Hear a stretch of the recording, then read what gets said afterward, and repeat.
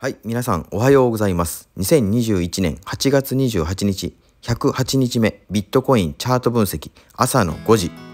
26日、頭打ちをして下落トレンドになっておりました。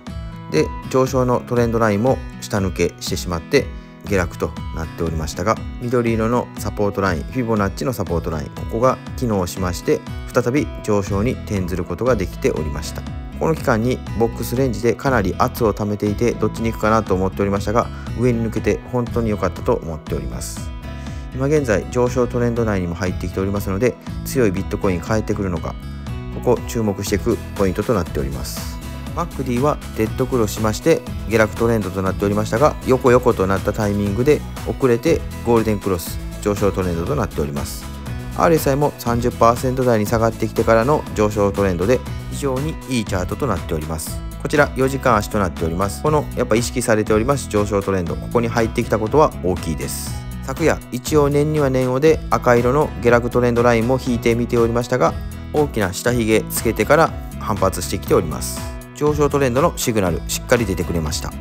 MacD は売られすぎからの買われすぎ。そしてまた売られすぎとなっておりましたが今現在買いの優勢に変わってきておりますのでトレンド変換したチャートとなっております。MacD は前回が40%切るあたりぐらいまで下がってきておりまして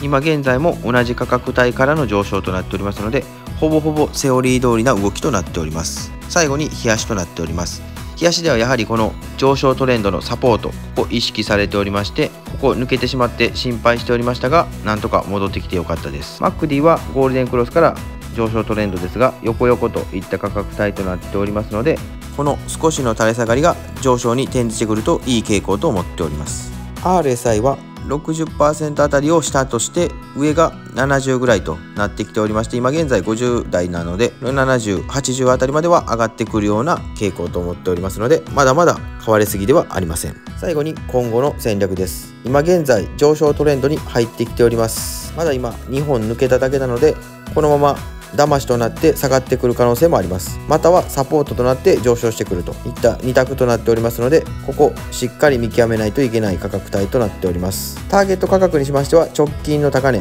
4万9400ドルあたり。ここを上抜けできればロングでいいのかなと思っております。逆にこの下げ渋ってたライン4万6300ドルあたり。ここを下抜けするのであれば再び下落トレンドに入ってくる可能性は大いにあります。ビットコイン運命の分かれ道。投資は余剰資金自己責任で頑張っていきましょう。ではまた明日。バイバイ。